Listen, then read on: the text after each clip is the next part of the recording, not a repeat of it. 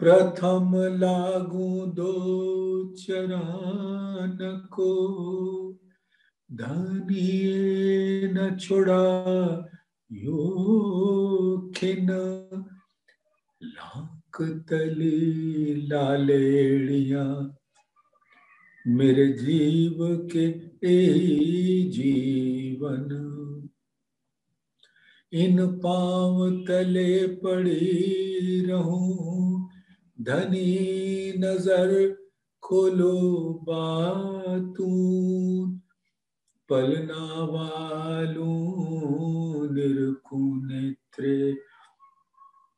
मेरे जीव के जीवन, मेरे जीव के जीवन।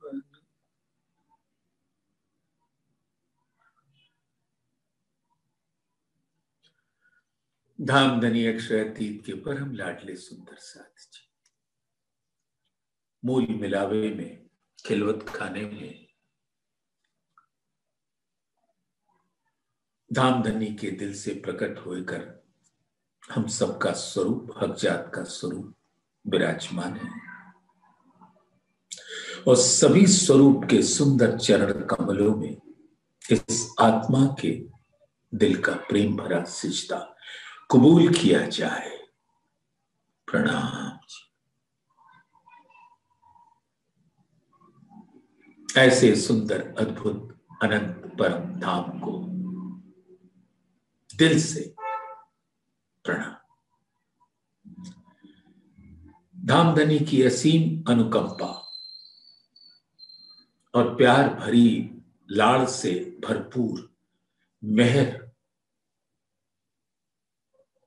हम सबके ऊपर समान रूप से छतरी ताने हुए। और वहाँ से नूर तारतम की बारिश होती जा रही है, होती जा रही है। और हम सब सुंदर साथ मिलकर, मानो एक तन, एक दिल है। हमें किसी से कोई अंतर नहीं महसूस होता। जिसको देखते हैं, जहाँ भी देखते हमारी तन के नैन खुले अवश्य हैं। लेकिन हम सुंदर साथ को दिल के नैनों से देखते हैं।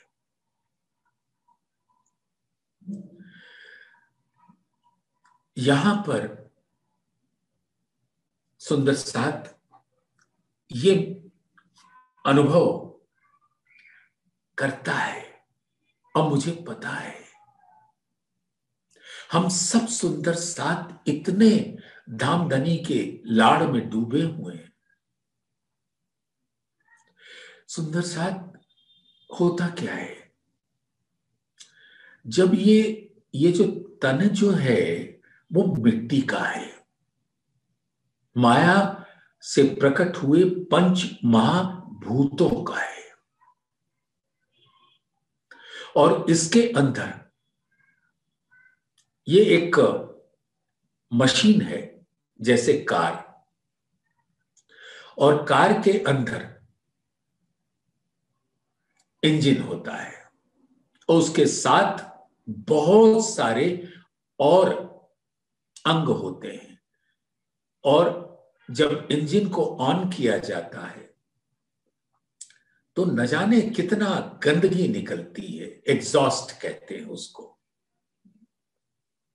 और फिर वो चलने लायक होता है और अपनी तरह तरह के अंगों का समावेश होकर वो चल पाता है।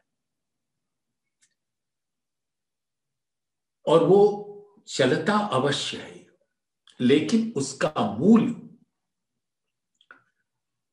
तो जो है, सो है। उसी प्रकार से ये तन का जो मूल है, इसके अंदर कितने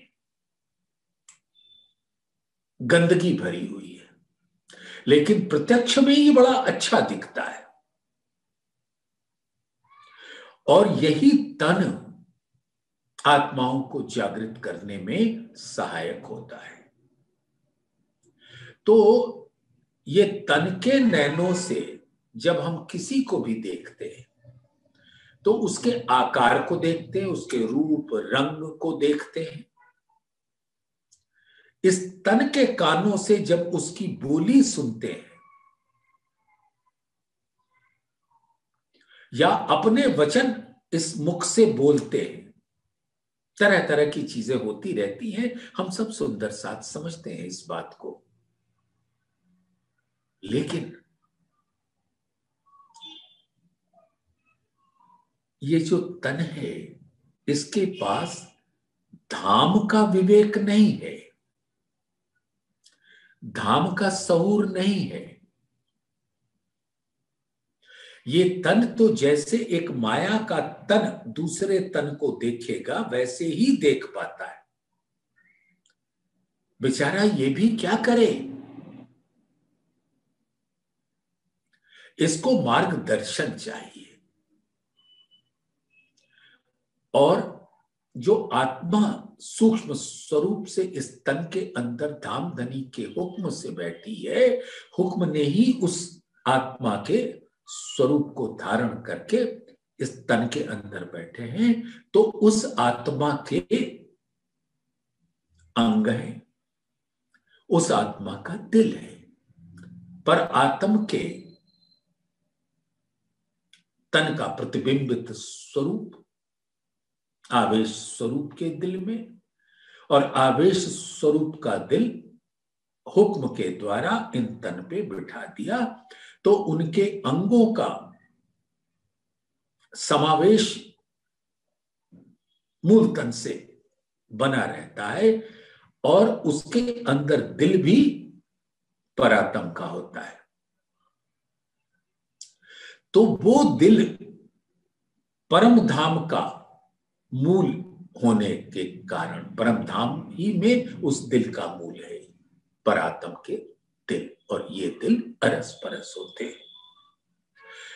तो जब वो दिल इन तनों, सुंदर सात के तनों में अपने परम धाम के संगीत आत्माओं को देखती है तो उसके दिल के नयन की नज़र, यानी आत्मा के दिल के नैन की नज़र आत्मा के अंगों को देखती है, जो परम धाम में हम सब अरस परस होए के मानो बैठे हैं दाड़िम की कलियों के जैसे। तो जब उस स्वरूप में हमारा दिल दूसरे सुंदर साथ को देखता है तो उसको देखते ही धाम की याद आती है। अपना घर याद आता है, अपनी बातें याद आती हैं। खिलवत की हर गूंज की लहर हमारे दिल के अंदर प्रतिध्वनित होती है।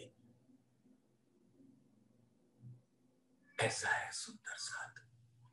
तो अपने सुंदर साथ के बीच में हम बैठे तो अपने दिल के नैन की नज़र से उनके तनों के अंदर विराजमान अपने ही वाहे दत्त के स्वरूप आत्माओं के स्वरूप को निहारे तो हमारे उनके बीच में परम धाम की एक तनी एक दिली स्वतः ही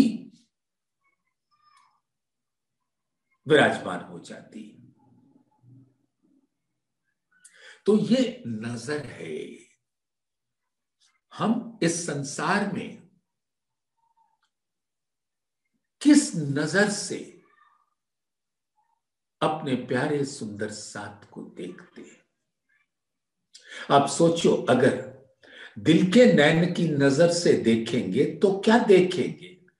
जो उनका मूल दिल है, जो स्वरूप अर्श की हकीकत मूल मिलावे में विराजमान है, वही तो दिखेंगे। और उससे क्या किसी का कोई भी द्वेष हो सकता है?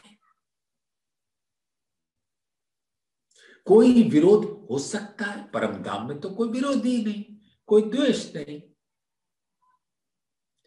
तो सबसे गुजारिश है कि अपने दिल के अंदर विराजमान उस आत्मा के स्वरूप को देखें और उसके दिल के नैन की नज़र से यहाँ पर वाणी भी देखें, वाणी भी सुने और सुंदर सात के दिल के अंदर विराजमान उन आत्मा के उन स्वरूपों को देखें जो आपके ही संगी वाहदत्त के स्वरूप हैं। तो देखिए जो रस आएगा हमको सम्मिलित, सामूहिक रूप से राज्य की वाणी का वो अद्भुत होगा। प्यार तो ऐसे बढ़ेगा कि जिसकी कोई सीमा न होगी। और प्रेम की सीमा तो कोई होती नहीं, क्योंकि प्रेम कहाँ बसता है? रूहों के दिल में। ब्रह्म सृष्टि के दिल कहो, गोपी का दिल कहो, जैसा कहना है कहो, जो जैसा समझता है, लेकिन मूल में प्रेम कहाँ बसता है? रूहों के दिल में। क्योंकि प्रेम ही वो वाहदत की लहर जो इश्क की वाहदत से बहकर हम सबके दिलों के अंदर होता है। उस प्रेम ही तो यहाँ के नज़र से देखना है तो हमारी चाल ही बदल जाएगी।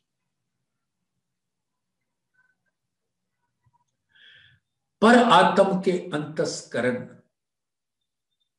चेती भी तत्पात तेती इन आत्म के करत अंग साख्यात।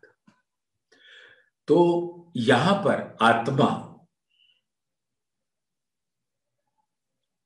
अपने अंगों से कुछ भी नहीं करती। स्वतंत्र रूप से जिसको कहते हैं अंग्रेज़ी में इंडिपेंडेंट ऑफ़ परातम। क्योंकि परात्म का ही तो प्रतिबिंबित स्वरूप है आत्मा। और जो पर आत्म की नज़र है, वही तो आत्मा के ऊपर है, वही आत्मा का स्वरूप है। और आत्मा भी बिल्कुल वैसे ही करती। अरे सुंदर साथ तो बड़े साधारण सा उदाहरण से हम और आप समझ सकते हैं। एक दर्पण रख लीजिए, उसके सामने खड़े हो जाइए। एक बार ये देखिए तो सही। और दर्पण के सामने आप खड़े होकर ऐसा विचारें कि आप हैं पर आत्म और जो प्रतिबिंब पड़ रहा है, वो है आत्म। और पर आत्म के दिल में जो बात आई, वो पर आत्म के अंग जैसे कर रहे हैं, वैसे ही आत्म के अंग करेंगे। उन्होंने हाथ उठाया तो आत्म का भी दर्पण में हाथ उठ जाएगा। ये तो एक तन का उदाहरण मात्र दे रहा हूँ। इसको तन से ना लीजिएगा, इसको पर आत्म का स्वरूप और आत्म का स्वरूप। अपर आत्म का दिल और आत्म का दिल। इस चौपाई हमने न जाने कितनी बार अपने दिल के अंदर दोहराया होगा। पर आत्म के अंतस्करण जेती बीतत बात। पर आत्म फरामोश है। तन उसका फरामोश है। उसके तन के नैनों से कुछ सुनाई नहीं पड़ रहा। तन के नैनों से कुछ दिखाई नहीं पड़ रहा सॉरी तन के कानों से कुछ सुनाई नहीं पड़ रहा। तन की रसना से कोई शब्द भी नहीं फूट रहे। लेकिन दिल, जिस खेल में दामधनी के हुक्म से पहुँचा हुआ है, वहाँ क्या हो रहा है?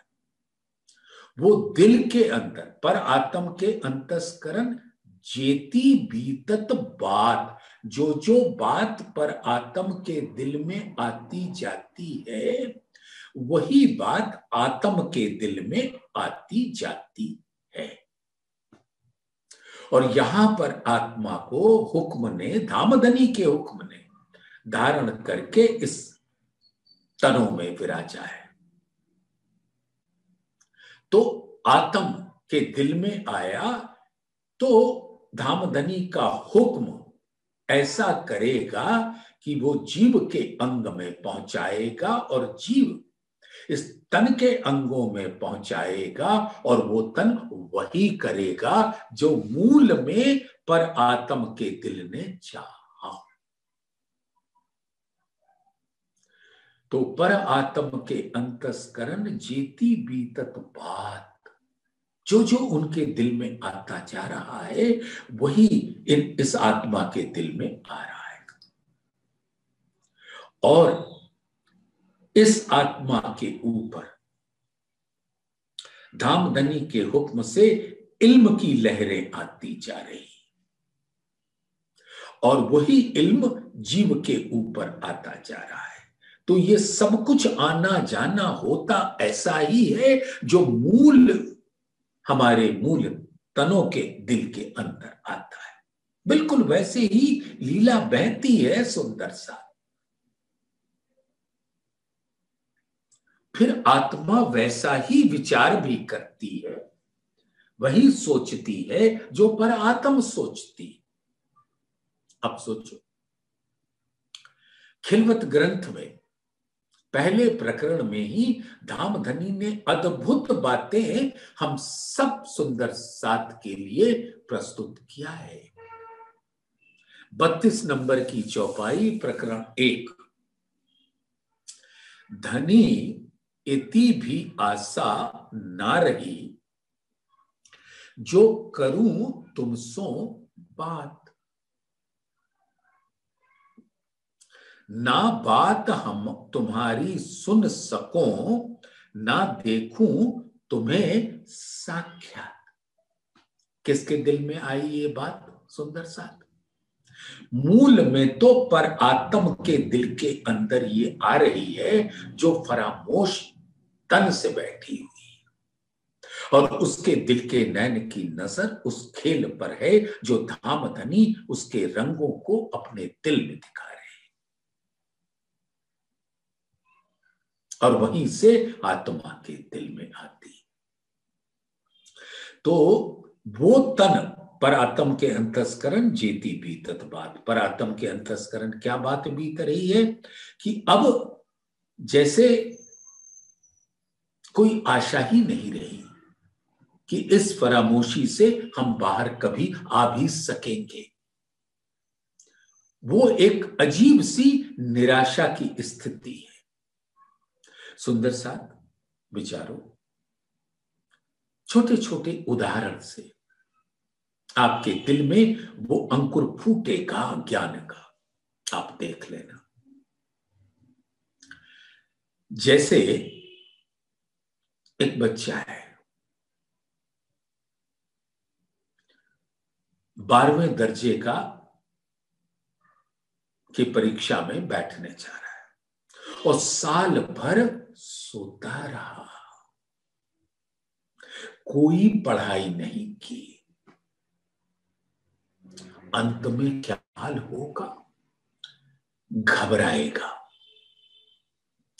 और अजब निराशा की स्थिति उसके दिल में आ जाएगी। होगा ना ऐसा? क्योंकि किया तो कुछ भी नहीं। तो ये निराशा की स्थिति पर आत्म के दिल में पैदा हो रही है कि फरामोशी हमने खेल मांगा था।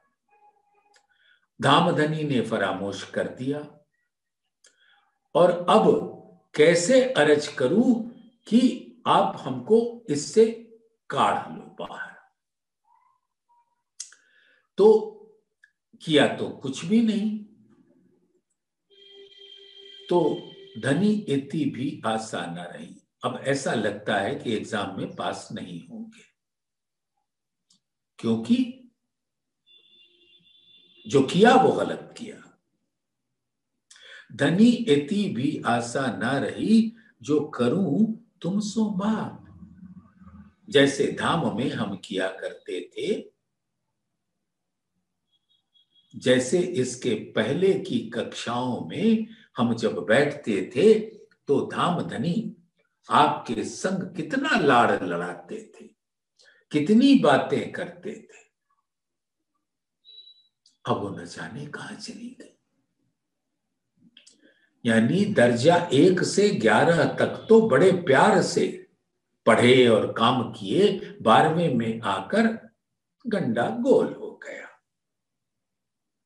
तो अब क्या करेगा व्यक्ति? निराशा की स्थिति में।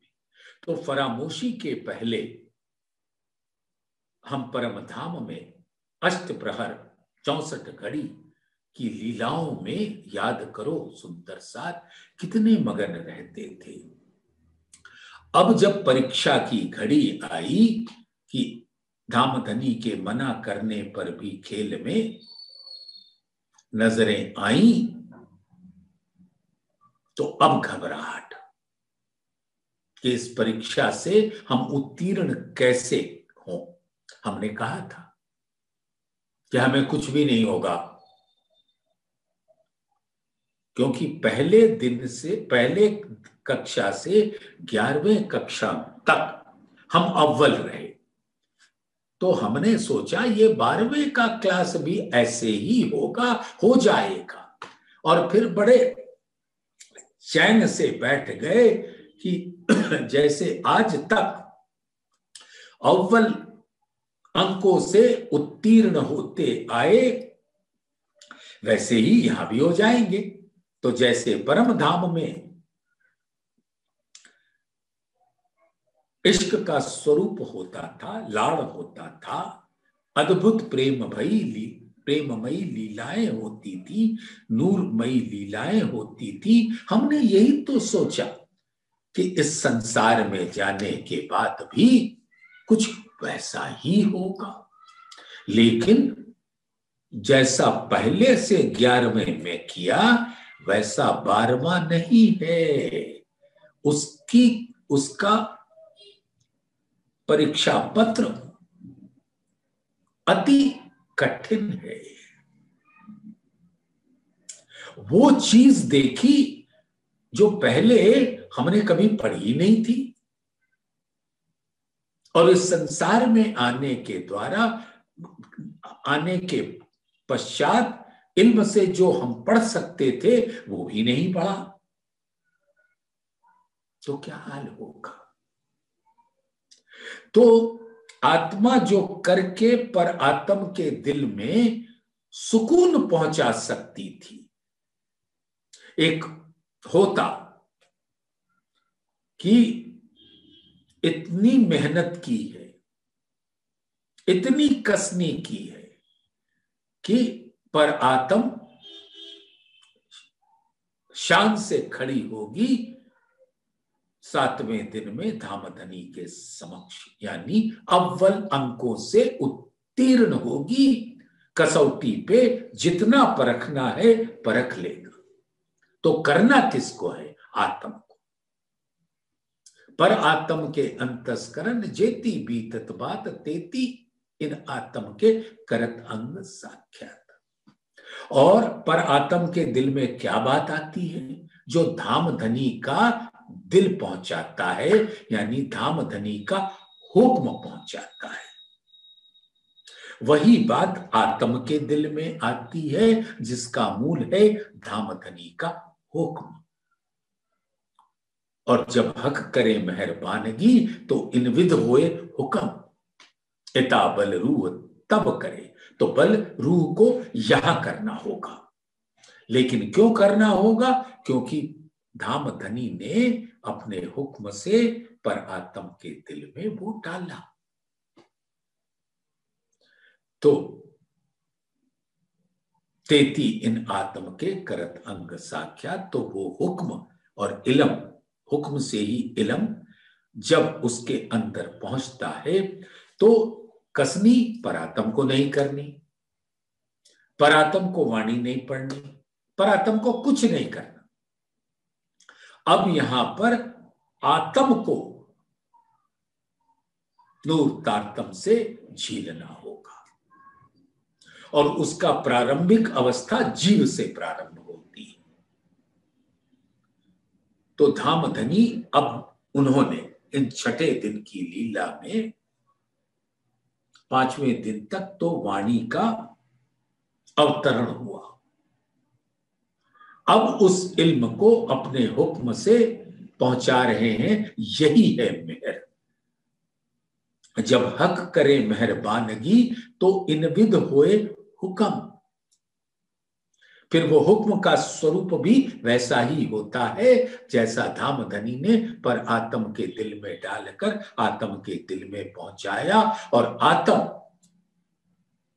अब जीव जो है, वो आत्म के अनुरूप हो जाता है। आत्म के दिल में जो आई बात, वो जीव का ये तन क्रियान्वित करता है तो आत्म कहते हैं ना, परात्म के अंतस्करण जेती बीतत बात, तेती इन आत्म के करत अंग साख्यात यानी आत्म के दिल में जो बात आई, वो जीव के दिल में पहुँचती है और जीव उस पहले इल्म को लेता है, फिर आत्म के दिल में, फिर आत्म के दिल से पर आत्म के दिल में। और ये सारी प्रक्रिया धामधनी के हुक्म से हो रही है। और इस संसार में उनके हुक्म के स्वरूप, नज़र के साथ आवेश स्वरूप है, जहाँ से इल्म के सागर की लहरें प्रकट होती जा रही है, सुंदर सा तो ये बात किसके दिल में आ रही? क्योंकि हमने कुछ नहीं किया यहाँ पर। तो हमारी पर आत्म के दिल में क्या आता है? धनी इतनी भी आशा न रही कि अब मैं उत्तीर्ण हो पाऊँगी। धनी इतनी भी आशा ना रही जो करूँ तुमसे बात। अब इतनी भी आशा नहीं है, उम्मीद नहीं है कि मैं तुमसे कोई बात कभी कर भी पाऊँगी। जिन बातों को करते करते हम कभी अगाते नहीं थे। अब ऐसा लगता है कि वो बात हम कभी कर ही नहीं पाए।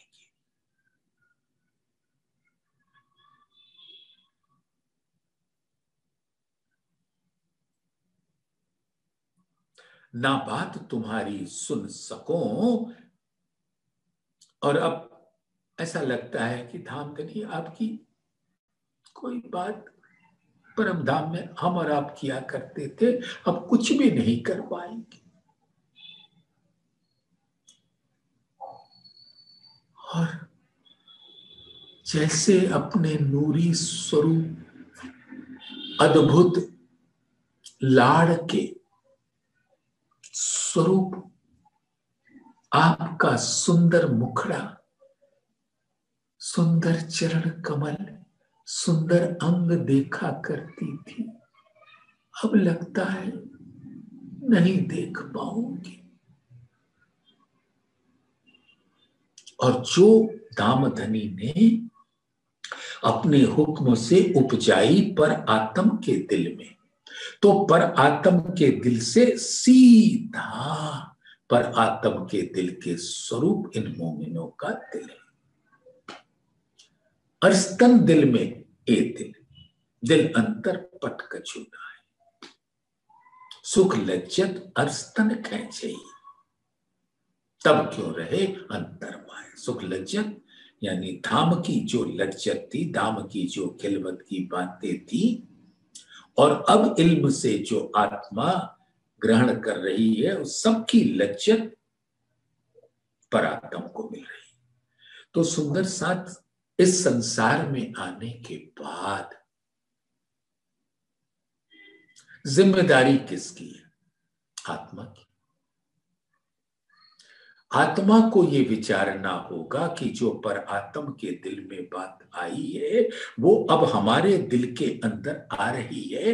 पहले नहीं पता होता था, लेकिन धामधनी ने अपने इल्म के द्वारा हमको ये ज्ञान दे दिया।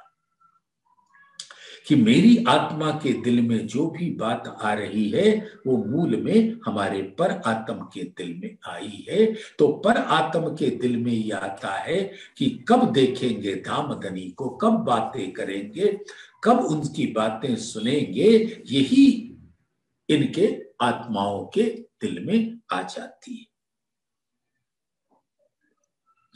तो इसका, इस चौपाई का तात्पर्य यही है कि अगर आत्मा यहाँ जो करना चाहिए, वो नहीं कर रही है। आत्मा तो कुछ नहीं करती, करता तो जीव है। लेकिन वो जीव के अंदर तभी वो बात पहुंचेगी जब आत्म के दिल में वो कुलबुलाहट होगी।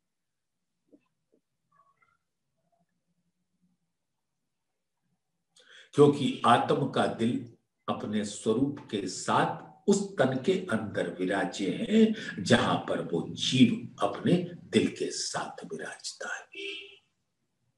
एतावल रू तब करे जब उठाया चाहे कसम। तो छठे दिन में उठना ही तो है। यानी ये मत सोचो जब चाहेंगे। अरे चाह लिया।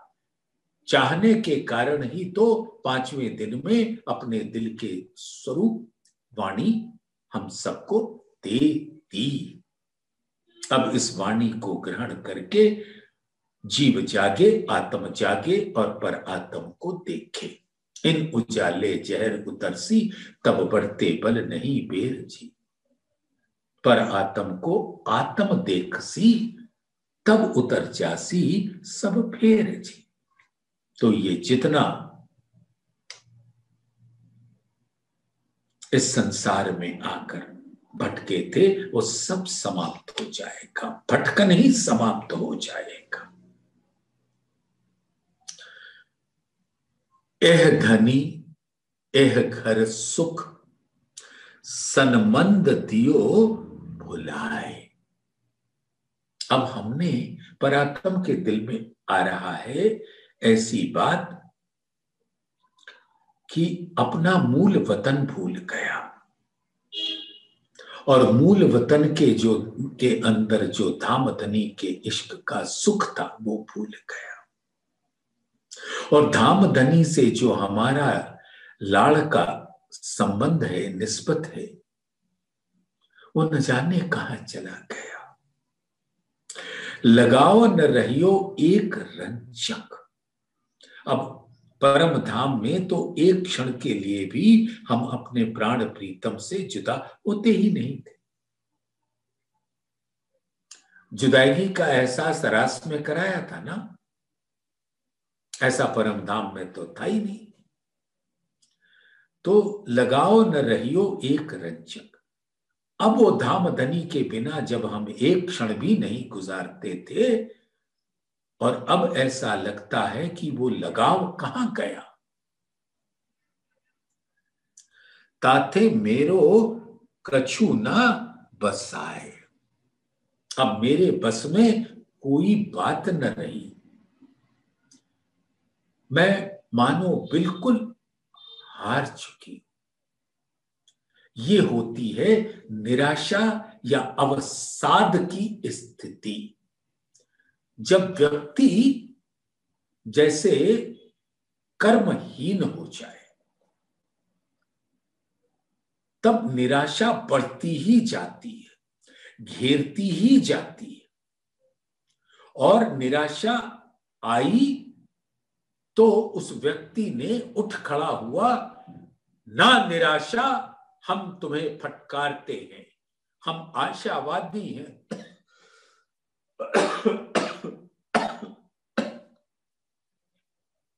हर समस्याओं से हम जूझ सकते हैं। आओ, उठो।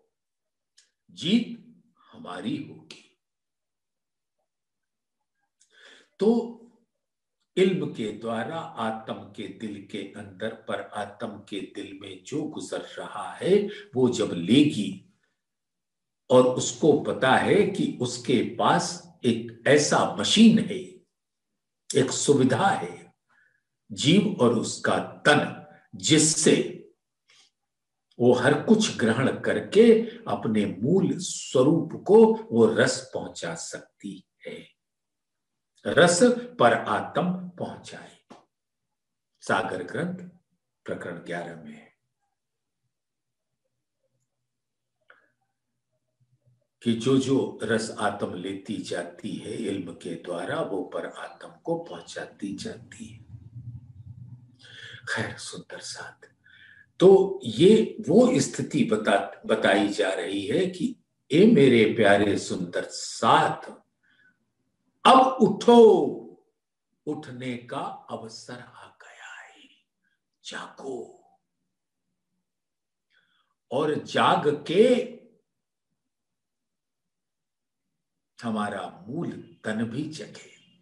तुम जीव जागेगा तो आत्म जागेगी आत्म जागेगी तो पर आत्म जागेगी और पर आत्म जागेगी तो धामधनी के दिल से लाड़ ही लाड़ पहुँचने लगेगा और दामदनी अपने दिल के लाड़ के अंदर सबको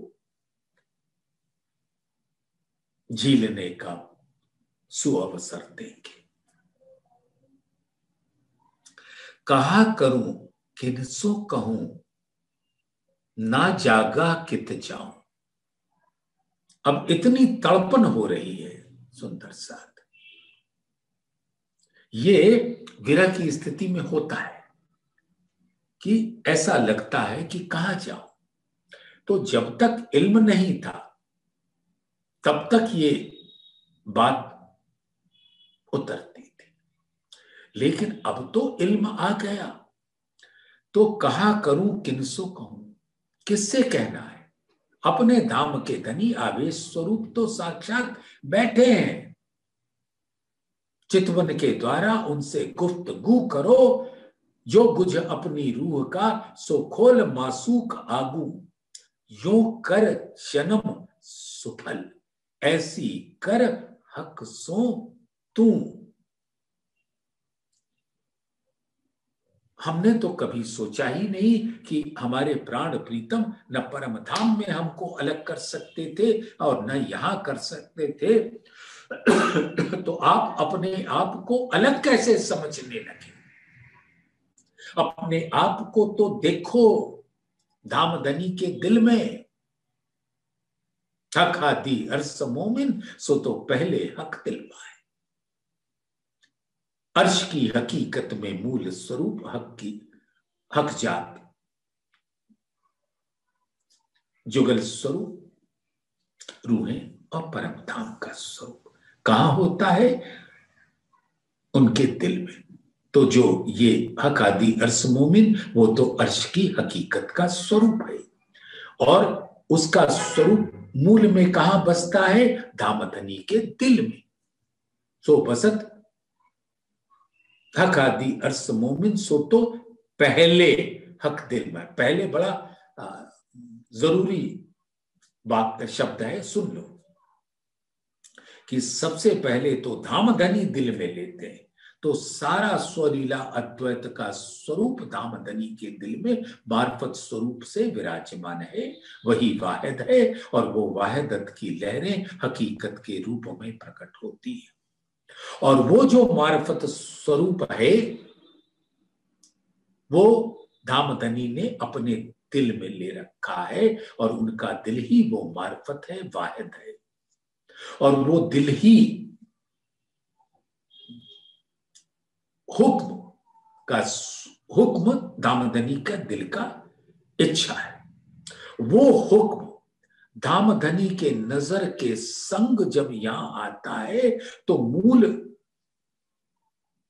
स्वरूप धाम धनी के मूल स्वरूप के दिल का स्वरूप, आवेश स्वरूप। दोनों दिल एक है। अंतर हो ही नहीं सकता।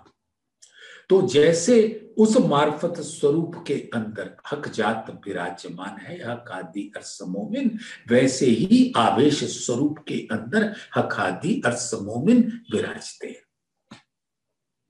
और फिर उनके मूल हुक्म से आकर आवेश स्वरूप के हुक्म से इन तनों पर सब सुंदर सात की आत्माएँ विराजमान हैं।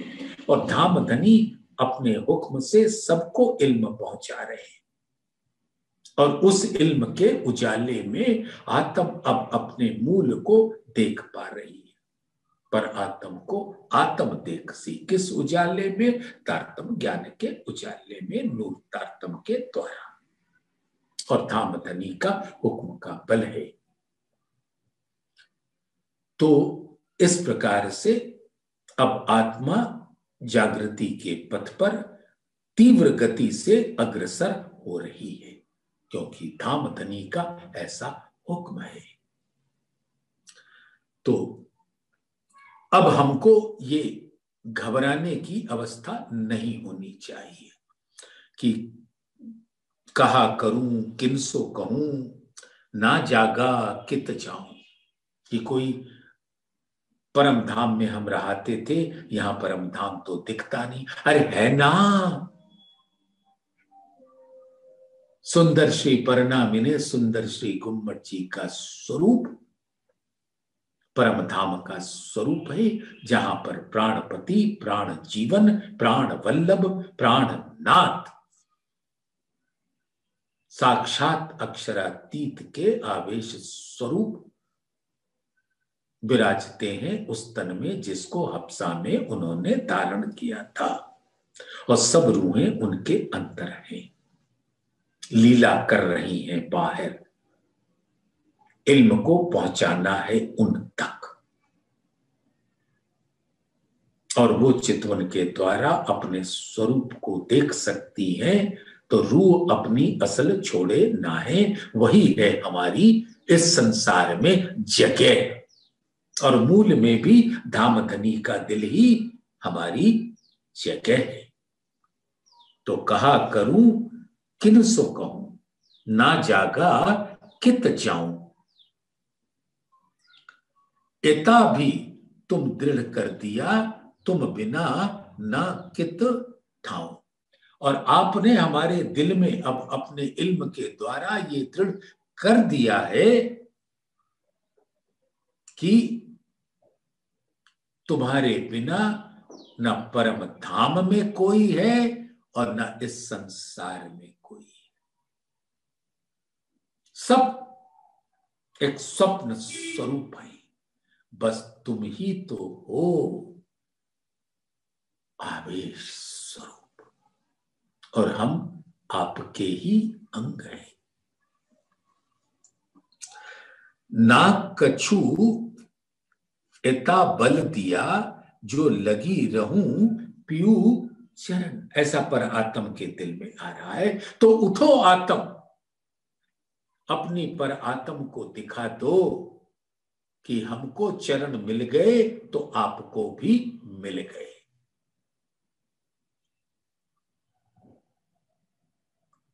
फिर फिर निरखिए। फिर फिर चरण को निरखिए, रूह को यही लागी रट।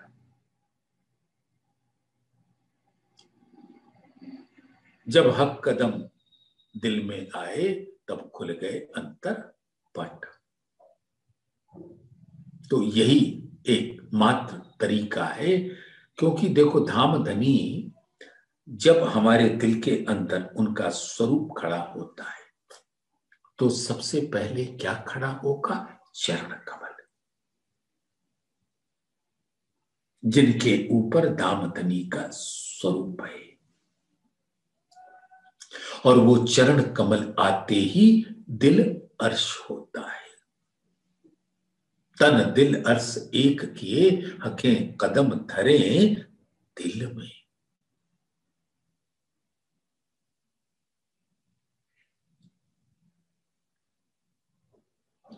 ना कछु एता बल दिया, जो लगी रहूँ पीऊ चरण।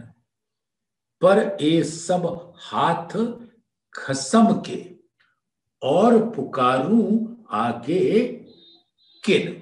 अब दामदनी ने पर आत्म के दिल में ये बात डाल दी है कि जो कुछ कर रहा हूँ तुम्हारे को लाड़ पिलाने के वास्ते मैं ही कर रहा हूँ।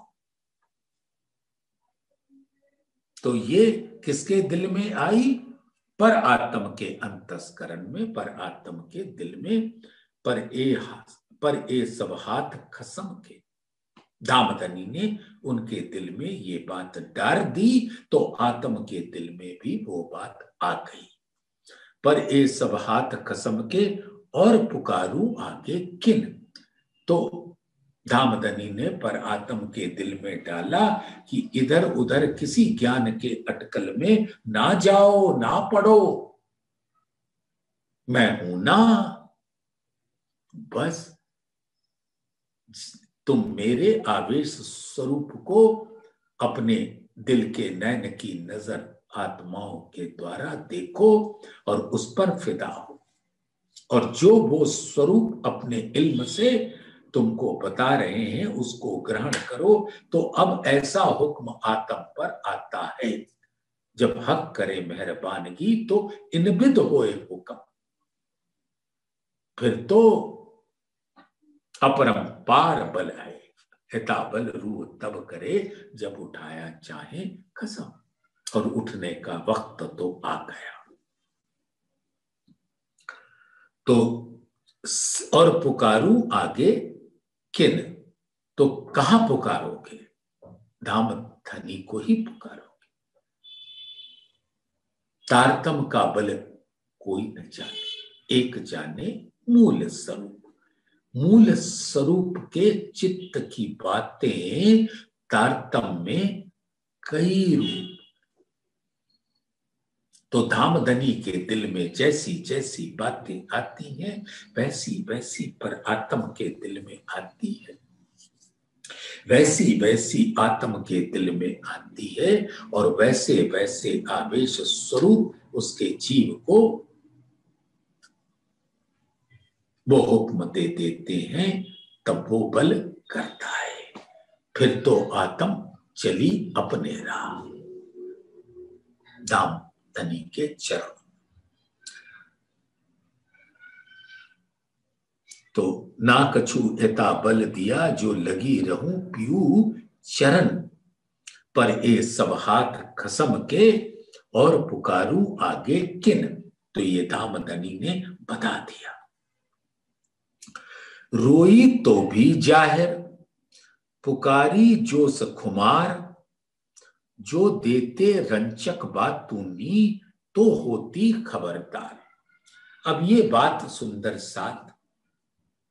हम लोग, ऐसा विचार आता आ रहा है कि धामधनी ने तो हमारे लिए सब कुछ किया, सब कुछ मुहैया कराया। फिर भी हम कहते हैं कि जो देते रंचक बात तूनी तो होती खबरदार। तो अगर आप हमें बातूनी देते तो खबरदार होते। पर आत्म के दिल से ये बात आत्म में आई तो अब वो विलाप कर रही है। रोई तो भी चाहे दिल रोना चाहिए था, लेकिन अब दिल के साथ तन भी रो रहा है। तो रोई तो भी ज़ाहिर, पुकारी जोश खुमार। अब विरह के जोश आया हुआ है आत्मा के ऊपर। तो पुकारी ही जोश खुमार, ये जो फरामोशी की खुमारी आई हुई थी, अब धामधनी अपने विरह का जोश ऐसा दे रहे हैं।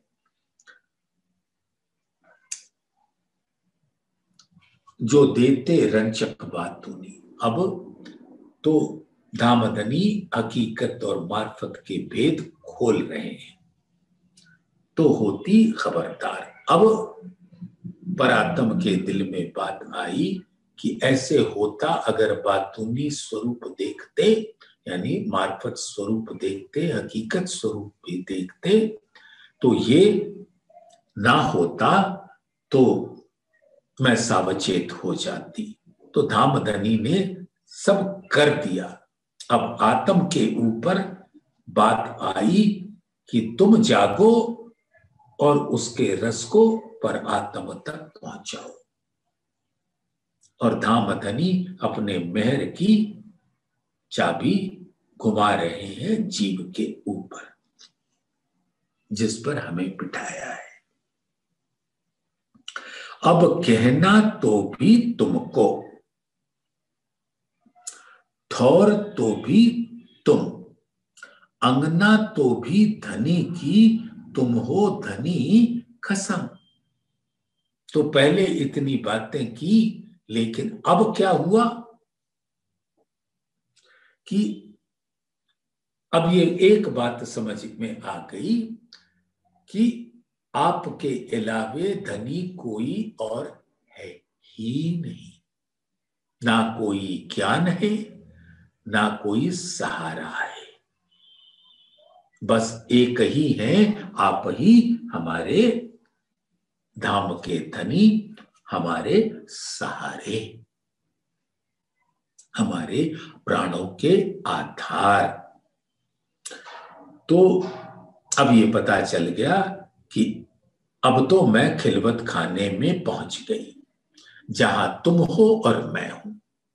तो अब जो भी दिल की बात कहनी है, तुमको ही कहेंगे। जो गुज अपनी रूह का, सो खोल मासूक आँखों। तो जो भी कहना है, तुमको ही कहूँगी, सरे बाज़ार जाकर अपना दुखड़ा नहीं रोने वाली। ये तो आपने दृढ़ कर दिया। अब कहना तो भी तुमको ठौर तो भी तुम। यानी कि हमको ये पता चल गया कि आप हमको कभी अपने से अलग नहीं कर सकते। तो हमारे खातिर धाम धनी अपने आवेश स्वरूप से आए तो हमको भी अपने संग लाए और हम वैसे ही उनके चरण पकड़ के बैठे हैं, जैसे मूल मिलावे में बैठे हैं और धामधनी के दिल में मूल स्वरूप में बैठे हैं, वैसे ही यहाँ आवेश स्वरूप में बैठे हैं, कोई अंतर नहीं। तो अब कहना तो भी तुमको ठौर तो भी तुम। आपका दिल ही हमारा ठौर है, जहाँ आपके चरण कमल हैं और जैसे हम आपके चरणों को, कदमों को पकड़कर मूल मिलावे में बैठे हैं, वैसे ही यहाँ पर आवेश स्वरूप के चरणों को पकड़कर बैठे अंगना तो भी धनी की। अब देखो, हो गया ना दृढ़? क्योंकि पर आत्म के दिल में धाम धनी ने डाल दिया कि आप हमारी अंगना हो। और कितना मीठा कहते हैं सनंत। प्रीतम मेरे प्राण के अंगना आत्म आप अंगनाए मेरे स्वरूप हो और मेरे आधार हो। प्रीतम मेरे प्राण के अंगना आत्म परम धाम में मेरे दिल के स्वरूप, नूर के स्वरूप, आप सभी का मूल स्वरूप है। और उसी मूल स्वरूप का यहाँ स्वरूप, आवेश स्वरूप में, जहाँ से हुक्म का स्वरूप इन तनों में विराजता है। अंगना तो भी धनी की तुम हो धनी खसम। और आप ही खसम सुंदर साथ आप जानते हो ना किसको कहते हैं? देखो, पति वो होता है जो हमारा, जो हमको पालता है, यानी हमारा पोषण करता है, हमें पालता है। और प्रेमी वो होता है जो प्रेम करता है। और जो ये दोनों करता है, वो खसम होता है। यानी मेरा प्रीतम, मेरा दुल्हा हमारा लालन पालन भी करता है, हमें कोई कष्ट भी नहीं आने देता है, और अपने फरिश्तों को लगा रखता है हमारे सब काम करने के वास्ते, और हमको प्रेम भी देता है। किसी का पति, सोचो, अगर कहे आपसे, पत्नी से, कि भाई देखो तुमको इतने रुपए दे दिए, अब तुम जो चाहे खाओ, पियो, और ज़रूरी, ज़रूरत हो तो मांग लेना, लेकिन अपना दिल में ये बात मत रखना कि मैं आकर तुमसे प्रेम करूँगा तो क्या करेगी वो पत्नी? कहेगी, आप तो अपना प्रेम दो और ये धन दौलत आप ही रखो। जैसे कहा ना कि मुझे खुदाए का स्वरूप मत बनाओ, मुझको तो मुद्दा है मात्र आपके इश्क से, बड़ा नहीं बनना मुझे। तो खसम के अंदर वो दोनों अपनी अंगनाओं के प्रति गुण होते हैं।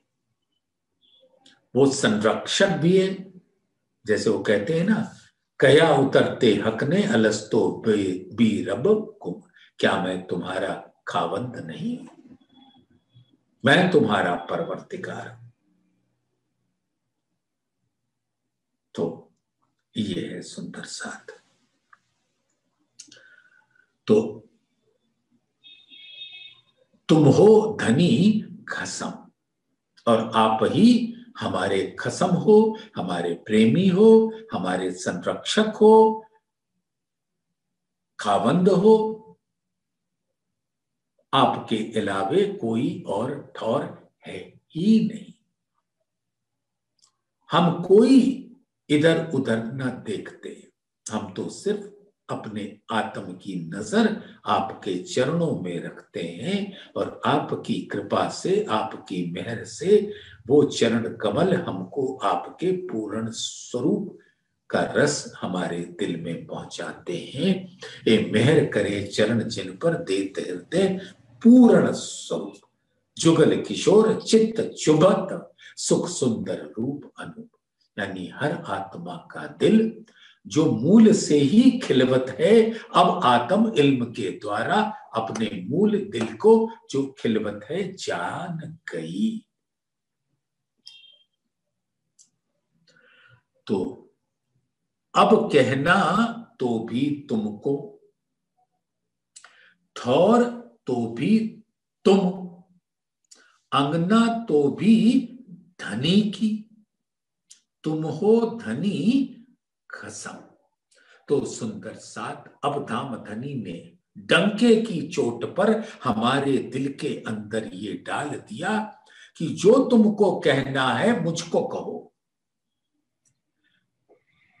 तुम्हारा ठौर भी मेरा दिल है और तुम ही मेरे दिल के अंग हो। और मैं ही तुम्हारा प्रेमी हूँ, मैं ही तुम्हारा संरक्षक हूँ। खसम। तो अब कहना भी तुमको, ठौर तो भी तुम, अंगना तो भी धनी की, तुम हो धनी, खसम। तुम हो धनी, खसम। धाम धनी ने ये सारी बातें अब आत्मा के दिल से कहलाई।